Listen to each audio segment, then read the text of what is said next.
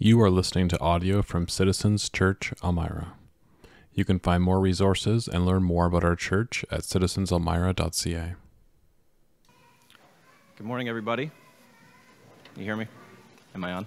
Oh, there we go. All right. The sound of the next generation is fading, and we can uh, begin. It's good to be with you all. Um, as already has been mentioned this morning, our theme uh, is hope. So I thought I'd start by talking about a lady from Atlanta. Her name was uh, Ann Nixon Cooper, and her years were 1902 to 2009. If you're a mathematician, that's a long time. Uh, she lived to be 107 years old, but probably what's most uh, known about her is that she was mentioned by Barack Obama in his speech in 2008 when he became the first African American president of the United States. And he said the following words. I'll spare you my Obama impression. Um, maybe at a dinner party sometime. But he said this in 2008 in Chicago after winning his historic election. He said, One thing that's on my mind tonight is about a woman who cast her ballot in Atlanta. She's a lot like the millions of others who stood in line to make their voice heard in this election, except for one thing. Ann Nixon Cooper is 106 years old. She was born just a generation past slavery, a time when there was no cars on the road or planes in the sky. When someone like her couldn't vote for two reasons because she was a woman and because of the color of her skin. And tonight I think about all that she's seen throughout her century in America the heartache and the hope, the struggle and the progress, the times we were told that we can't, and the people who pressed on with that American creed. You think about Ann Nixon being born in 1902. Uh, she was born um, as the granddaughter of slaves. Her grandparents are still alive, so she probably sat around the kitchen table talking to people who had actually been enslaved. Uh, and the same person went out and voted for a, a black man as president of the United States. All politics aside, partisanism, that is a pretty impressive thing to think about when you think about the history of a country. If, if uh, she would have told her grandparents sitting at the table, you know, one day I'm going to vote for a black man, they would have probably thought she's crazy. Talk about hope. So think about what comes to your mind when you think about the word hope. You probably came into this room this morning, like um, Darren already alluded to, with different hopes and expectations, um, things that you are hoping for, uh, things that you think about with Christmas. Uh, we've been observing here at Citizens a time of preparation, a reflection, Advent, thinking about preparing our hearts for the coming of Jesus. And today's story is something that's kind of overlooked within the Christmas story often, or it's not generally the first thing that you might think about from the Christmas story of Luke 2. Uh, it's this kind of tucked away little portion that Luke talks about these two people that we don't know much about other than their stories here in the text from Luke. The first guy is a guy named Simeon, and I'm just going to jump back into the verses again to give us some context for what's going on. Uh, so we'll start at uh, verse 25, uh, and we'll read until 33 again, just to uh, get into the story. And it says, There was a man in Jerusalem called Simeon who was righteous and devout. He was waiting for the consolation of Israel, and the Holy Spirit was upon him. It had been revealed to him that he would not die until he had seen the Lord's Messiah. Moved by the Spirit, he went into the temple courts. When the parents brought in the child Jesus to do what the custom of the law required, Simeon took him in his arms and praised God, saying, Sovereign Lord, as you have promised, you may now dismiss your servant in peace, for my eyes have seen your salvation, which was prepared in the sight of all nations, a light for the revelation to the Gentiles and the glory of your people Israel. The child's father and mother marveled at what was said about him. Then Simeon blessed them and said to Mary, his mother, This child is destined to cause the falling and rising of many in Israel and to be a sign that will be spoken against, so that the thoughts of many hearts will be revealed, and a sword will, pierce your own soul too. Some scholars believe that uh, Simeon was mentioned by the uh, Jewish historian Josephus, who was not a Christian but was a Jew, and wrote a lot about the time period that we are in here in the text. He doesn't spe- Josephus doesn't specifically say Simeon was this guy in the temple, but when scholars put things together, they're pretty sure that this guy may have been a member of the Jewish council. If that's the case, then Simeon's not just a random dude who wandered into the temple one day. He's an influential Jewish uh, man who is part of the, the ruling class. And so, by this account, he has some clout within the community. But what's striking in this text, and what really stood out to me when I was reading the text, is that uh, Simeon has a very personal relationship with God. It says that the Holy Spirit had revealed to him that he was going to see the Messiah, which means that the Holy Spirit had spoken to him in a very intimate way, that he wasn't going to die until the Messiah came. It said that hope rested on this man. You would think that if you were a friend of Simeon, that maybe you would, uh, if you knew this prophecy that he had in his heart, you'd probably be asking him a lot about who he'd been hanging out with, right? Have you met the Messiah yet? Uh, you think about the time period uh, that we're in right now. This is uh, there's been like 400 years of silence within the Jewish faith, meaning that God hadn't audibly spoken or through the prophets to the Jewish people in a very long time. Rome has oppressed the people of Israel for a long time. Uh, it's not a, a fun time to be a Jewish person. This is not the height of the Jewish empire when, you know, David was king and they were really rulers of a large part of the Near East. But rather, they are completely oppressed. God seems silent. And yet, there's this guy coming into the temple saying, I've been told I'm not going to die until the Messiah comes. So God's not manifesting his presence like he was in the past. He's not parting the Red Sea. He's not a pillar of fire. He's not speaking in real time through prophets in the temple. And yet God is in the move in the hearts of men and women like Simeon and Anna. It says that um, the, when you think about the significance of this encounter, it happened in the temple. And one commentator said that the temple is like the locus of God's presence, the meeting place between the divine and the human. I can't think of who painted the painting, but there's that painting of Adam's hand reaching up to God's hand, you know, the very famous one. I thought of that when I heard of that. This idea that in the temple during the time of Israel was the God's dwelling place, the closest space that would, you would feel the presence, the very dwelling presence of God. And the presence of God is thick here.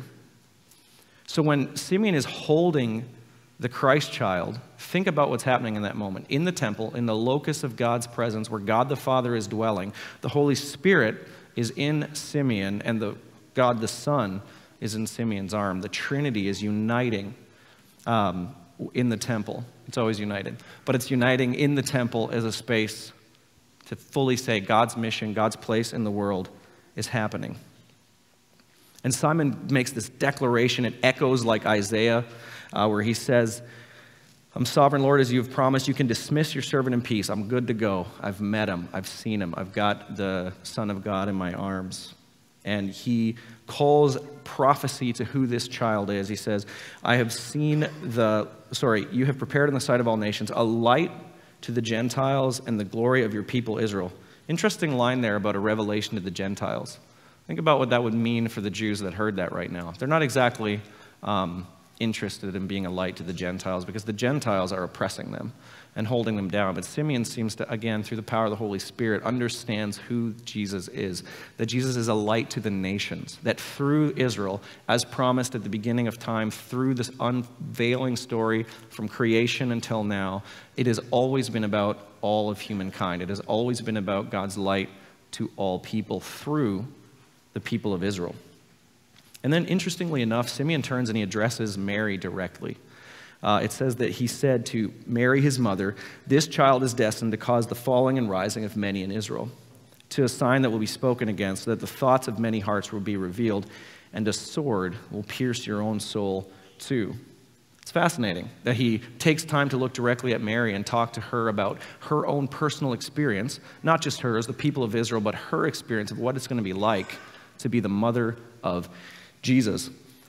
Scholars think that Luke, he says at the beginning of Luke that he interviewed over 500 people, right? He says, you know, the, the, I interviewed all these eyewitnesses, and that's, this is how I got my historical account.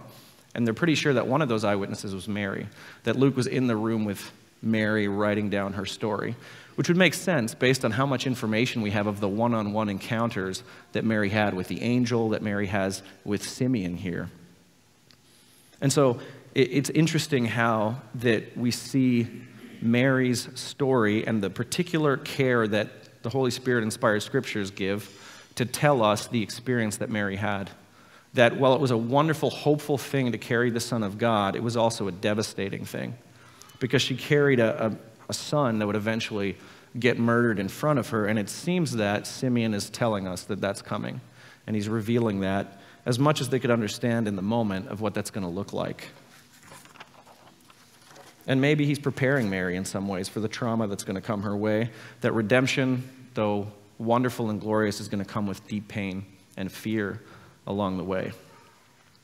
Right on the heels of this prophecy uh, comes another uh, really interesting little moment, and we have a prophetess in the temple named Anna. It's a chance this lady's as old as Ann Nixon Cooper was. Um, scholars aren't sure. If you look at the way it's written, it sounds like she was a widow for 84 years, uh, which in ancient times, that's crazy. That means even if she was married at 13 or 14, I mean, she's, she's up in the hundreds. There's a chance, though, that the way it's translated, she's actually 84 years old, again, which is um, significantly old for that, that time period. Either way, she's been around a long time. Uh, and she's been in the temple, she's been fasting, she's been praying, and it sounds like she's been just dwelling in the presence of God. That's about all we know about her. Just a faithful woman of the Lord that Luke takes time to write about. Some people say, well, maybe she was fasting until Jesus came. Um, and other people say, no, she was probably just fasting, as one commentator, as an expression of her hope in the form of a prayer, entreating God to set things right. I like how it says that. Just fasting as a way to entreat God, please set things right for our people. And Anna comes up to Jesus, who's in the arms of you know, his mother, uh, and she starts linking him to the redemption of Jerusalem. It's quite a day at the temple for Mary and Joseph. They have two very distinct prophecies coming from both a man and a woman, giving a prophecy that this woman in your arms, even though they'd seen an angel, you know, a couple years before that, what a great reminder for them, for Mary and Joseph and the people in the temple, that this little person in your arms is fully human but fully God and is going to change everything in the course of history. So that the text today ends with, with Mary and Joseph heading back home to Nazareth. But for us in the room that are believers, we know that this is really just maybe as the Son of God or as a coming Messiah. And for that day for Simeon and for that day for Anna, it was hope fulfilled. I don't know if Anna had a specific prophecy that she was going to meet Jesus face to face, but we know Simeon did. And for him, it was finally recognized near the end of his life. Roman rule, occupation, God seeming silent, all coming to kind of an end and a climax here in the temple with this little baby. So let's take the text uh, into today, into Elmira in 2022. Uh, we find ourselves in a world that is vastly different than the world that we have our story in today, and a world that is very much the same. We still have oppressive empires, wealth and disparity of poverty side by side, violence and hate, lots of depraved moral conscience in our political discourse, and this longing for hope. Um, back in 1997, U2 wrote a song, If God Would Send His Angels. It's a really interesting song, and I'll read a couple of the lyrics for you. Um, and the, it goes like this they write uh, and sing God's got his phone off the hook. Would he even pick it up if he could?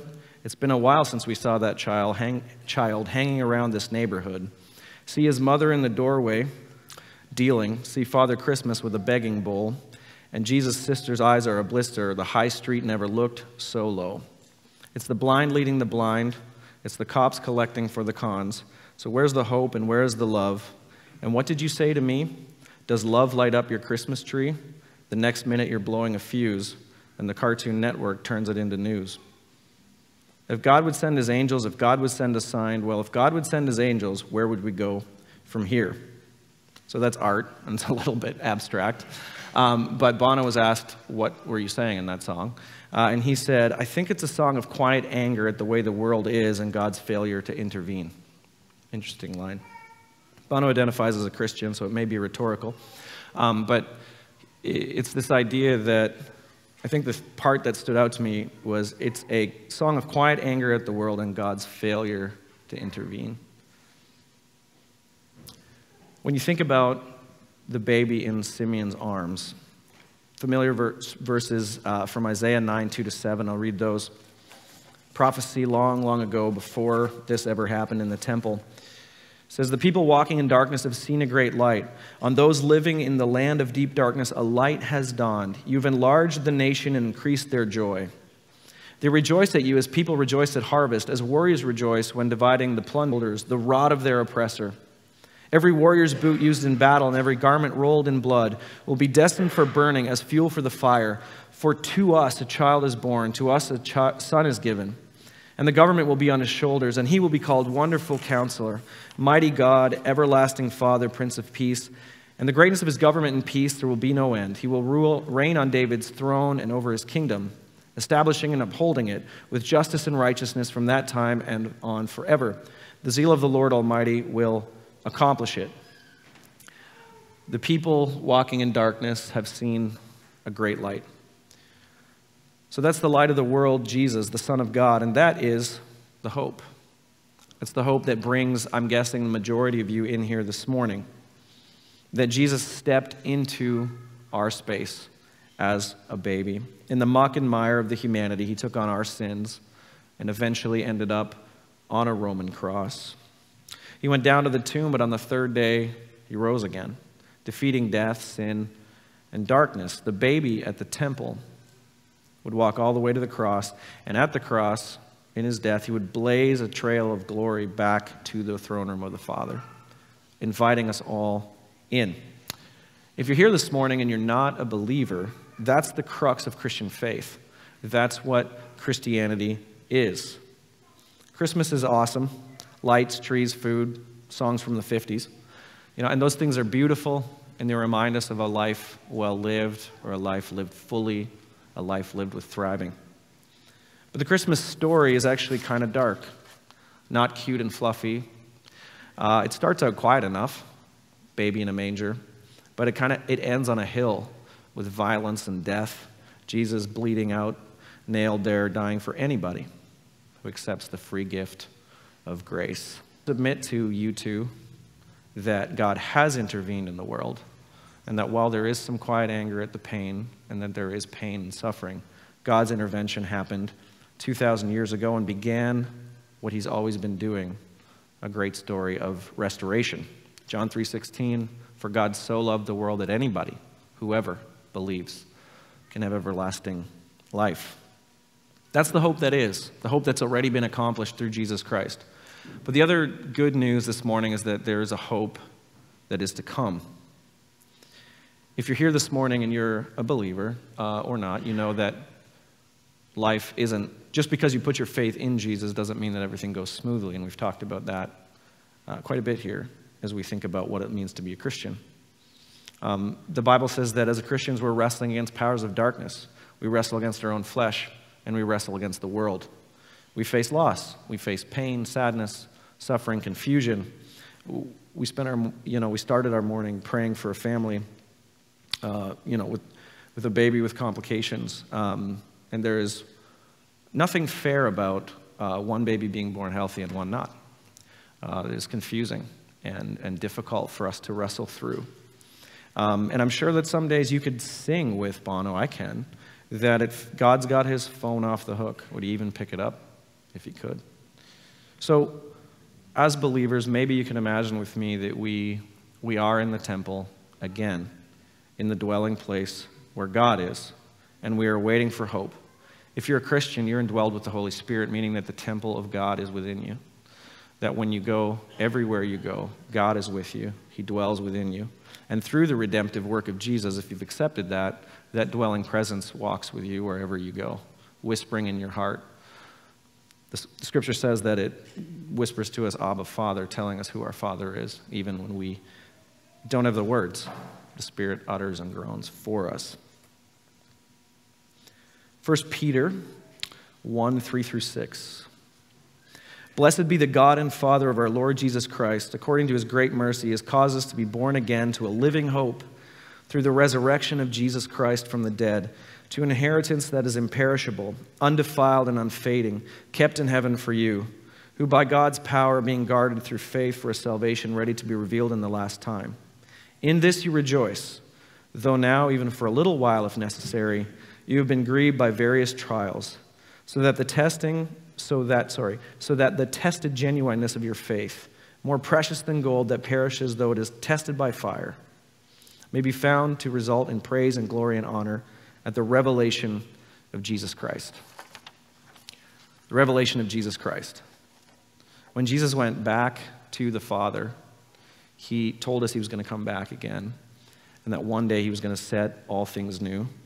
Uh, language that people use, and I think I've heard Darcy use it here before, uh, is the already but not yet. This idea that we are in the already here, uh, the already being accomplished through Jesus Christ, that we have hope in Jesus, that we live in the hope of Jesus. But as we all know too well, the not yet exists, and that we live still with the veil between us and what is to come. And the hope that we light the candle for this morning is twofold. Like I said, it's the hope that has come in Jesus Christ, and it's the hope that is to come in the final consummation when Jesus comes back here to dwell with us and make all things new.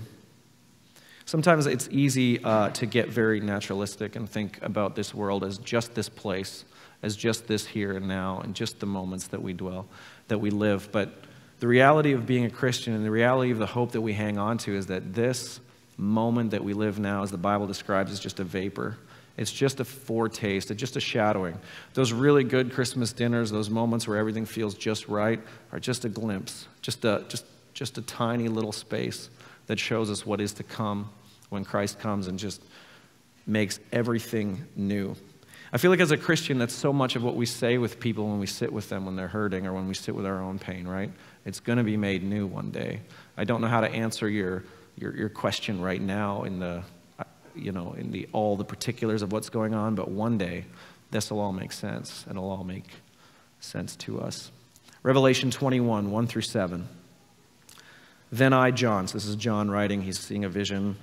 John, who walked with Jesus, sat with Jesus, is saying, I saw a new heaven and a new earth, for the first heaven and the first earth had passed away, and there was no longer any sea. I saw the holy city, the New Jerusalem, coming down out of heaven, prepared as a bride, beautifully dressed for her husband. And I heard a loud voice from the throne saying, Look, God's dwelling place is now among the people, and he will dwell with them. They will be his people, and God himself will be with them and be their God.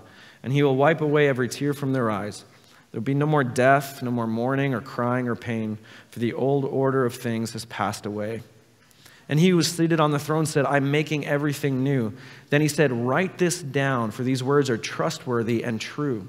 And he said to me, It is done. I am the Alpha and Omega, the beginning and the end. To the thirsty, I will give water without cost from the spring of the water of life. To those who are victorious will inherit all this, and I will be their God, and they will be my children. I can't think of a more hopeful scene than that to think about this morning as we walk uh, into our uh, at final kind of section of Advent and as we think about Christmas and we think about 2023 as we close the chapter on another year. One day, God Himself will walk among us and we will walk into that holy city with Him. And that's our hope at Advent that one day all things will be made new. We will have resurrected bodies to walk in the new world. No COVID, um, tears wiped away, forever with Emmanuel, God with us. Would you pray with me? God, thank you for that declaration of yourself that you are Emmanuel, that you are with us. That as Christians, we know that our faith is not um, just ethereal, that is something very material. Um, the physical and the spiritual come together in you, Jesus, that your incarnation as a baby was so much more than just trying to show us something, but you were truly doing something here in the world. When you came and stepped into our brokenness, became broken, and then paved a way back into the presence of God. Lord, for those of us that are believers, we are so grateful for that. We're grateful to be uh, called your sons and your daughters, that we can sit in your throne room with boldness because of what happened, uh, because of the hope that started in the manger and ended uh, in the empty tomb. For anyone that's not a believer here this morning, I pray that you would um, gently touch hearts, show your love, your grace, uh, and reveal yourself to them. And God, for all of us today, may you always uh, keep us reminded of the truth of your presence, your closeness, even when it might feel uh, as though you are not. We pray these things in the name of uh, a resurrected Jesus. Amen.